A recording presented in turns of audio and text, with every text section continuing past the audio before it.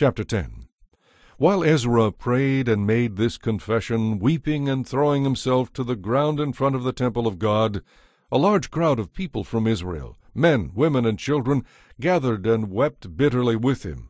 Then Shecaniah, son of Jehiel, a descendant of Elam, said to Ezra, We confess that we have been unfaithful to our God, for we have married these pagan women of the land.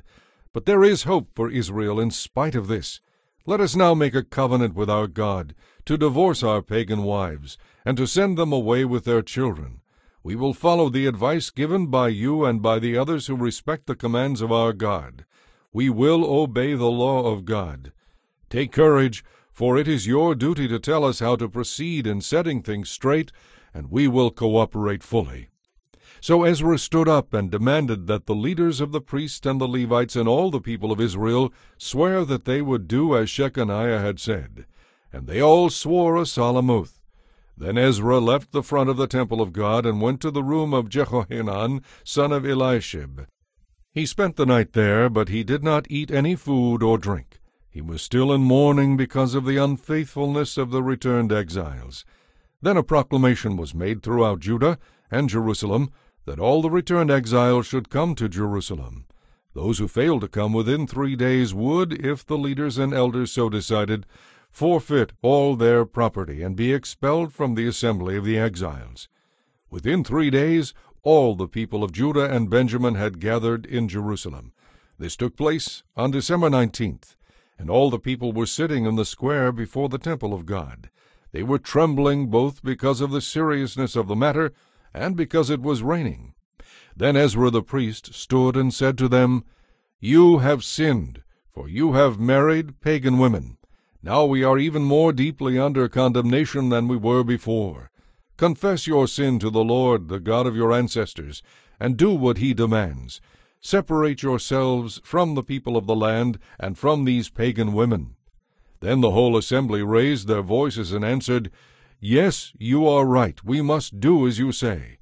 Then they added, This isn't something that can be done in a day or two, for many of us are involved in this extremely sinful affair. This is the rainy season, so we cannot stay out here much longer. Let our leaders act on behalf of us all.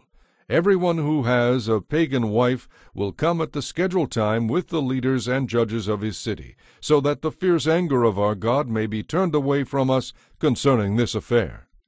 Only Jonathan, son of Asahel, and Jahzeiah, son of Tikvah, opposed this course of action, and Meshullam and Shabbethai the Levite supported them. So this was the plan that they followed. Ezra selected leaders to represent their families, designating each of the representatives by name. On December 29th, the leaders sat down to investigate the matter. By March 27th of the next year, they had finished dealing with all the men who had married pagan wives. These are the priests who had married pagan wives. From the family of Jeshua son of Jehozadak and his brothers Maaseiah, Eliezer, Jarib, and Gedaliah, they vowed to divorce their wives and they each acknowledged their guilt by offering a ram as a guilt offering. From the family of Immer, Hanani and Zebadiah.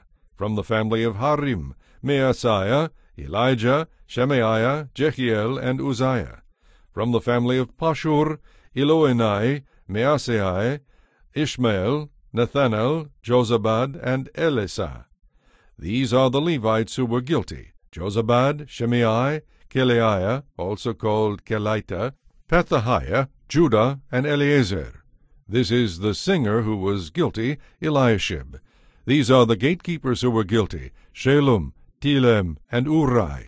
These are the other people of Israel who were guilty. From the family of Parosh, Ramiah, Izziah, Malkijah, Mijamin, Eleazar, Hashabiah, and Benaiah.